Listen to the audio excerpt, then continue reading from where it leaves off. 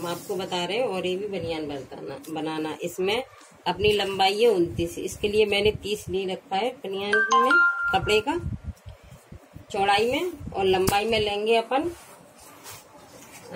लंबाई में अपन लेंगे बनियान की जो लंबाई है वो पूरी, उसमें उस लंबाई का आधा और प्लस कर देंगे मतलब पंद्रह इंच और। तो अपन इसको लेंगे तीस और पंद्रह पैतालीस इंच। पैतालीस इंच अपन ने ये ले रखा है।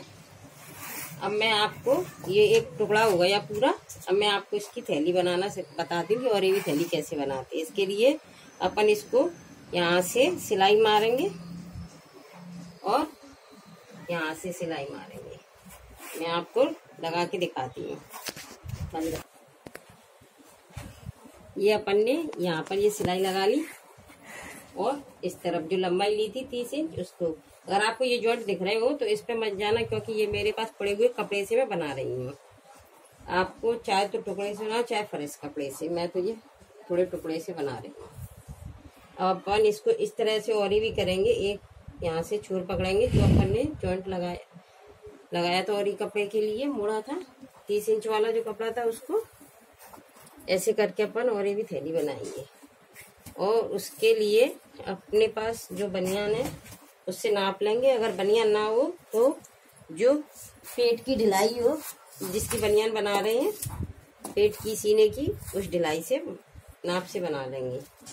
मेरे पास ये बनियान है, मैं इस बनियान से बता रही हूँ। इससे अपन इस तरह से इतना ढीला ले लेंगे। जिससे क्या है, वो और भी जब अपन करते हैं ना तो लंबाई में चला जाता है।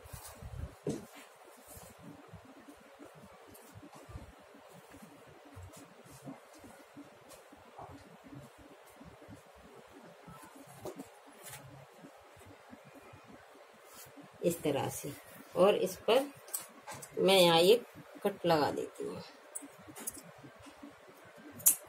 इस कट को पकड़ के फिर से अपन इसको इस तरह से सिलाई लगाएँगे। ऐसे करके पूरी इस तरह से पूरी सिलाई लगा देंगे।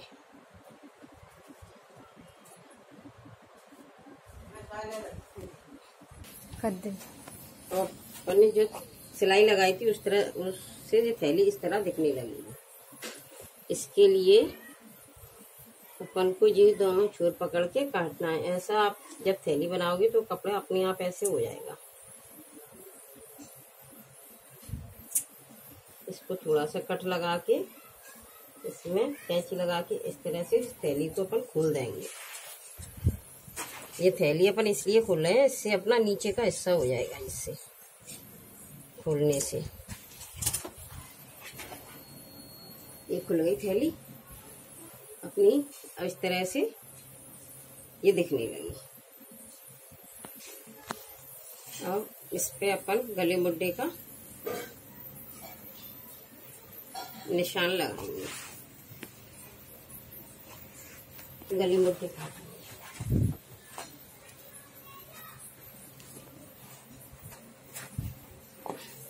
चाहो तो आप बनियान से भी नाप लो। और बिना अगर आपके पास नाप ना हो तो अधिकतर जेंट्स के मुड्डे आठ या साढ़े आठ इंच के कटते हैं।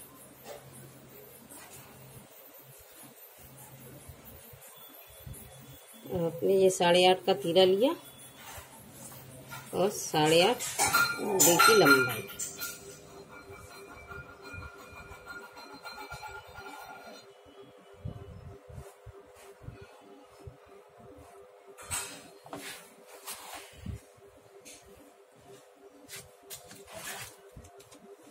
जी, हो गए मुड्डे। अब इस पे अपन गला काटेंगे, साढ़े तीन इंच चौड़ा। ये पीछे के लिए आधा इंच का गला काटेंगे।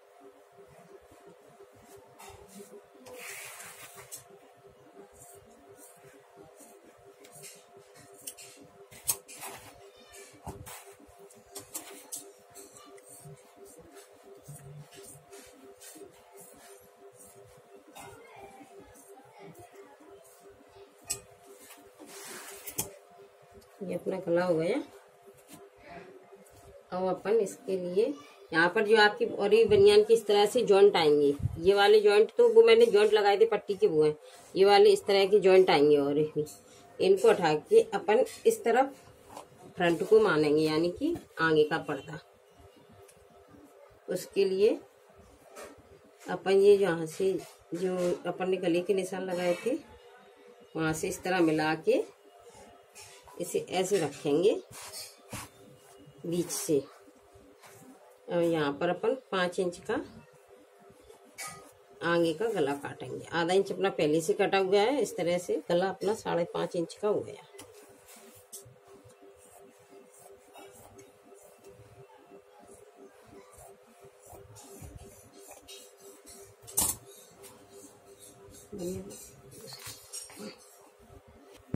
हम्म।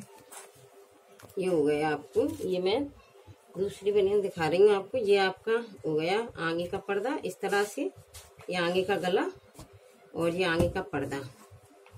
ये हो गए आपका पीछे का पर्दा। इसमें ये बार जो अपने जॉइंट लगाए थे और बनियान के लिए वो इस तरह से आएँगे पीछे। अब अपन इस पे पॉकेट के लिए निशान लगा लेंगे। इसके लिए मैं आपको कप, कपड़े से पॉकेट काटना सिखाती हूँ। बचा हुआ कपड़ा है। इसमें से मैं आपको पॉकेट बनाना बताती हूँ। पॉकेट की लंबाई अपन लेंगे। चौदह इंच। और चौड़ाई लेंगे अपन। नौ इंच।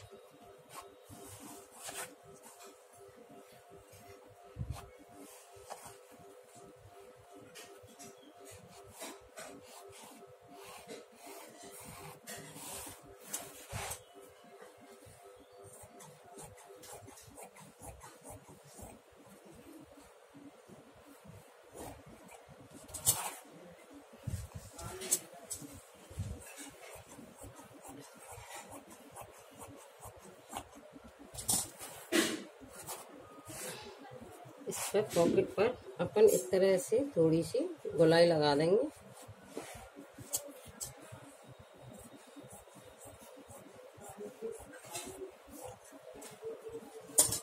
इस तरह से ये अपनी नीचे की पॉकेट हो गई और ये ये पॉकेट और ये ये मुड्डे वाली पॉकेट इनको भी मैं आपको काटना बताती हूँ।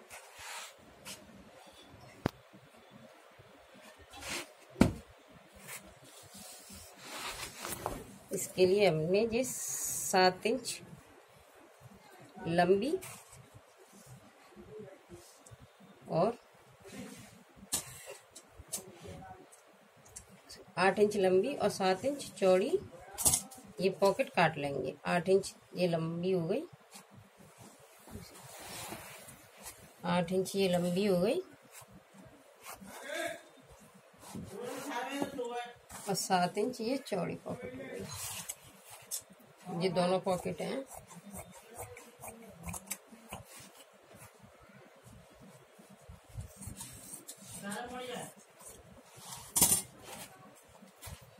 इसके लिए और अपन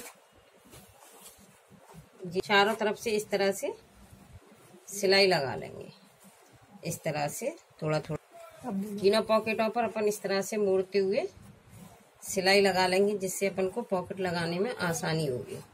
ये ध्यान रखें कि जो पॉकेट अपन लगाते हैं, उसे लेफ़्ट हाथ की तरफ़ लगाते हैं। तो अपन ध्यान रखना चाहिए कि पॉकेट अपन किस तरह से मुड़ रहे हैं। इसके लिए अपन बनियान को सीधा करेंगे। इस तरह से।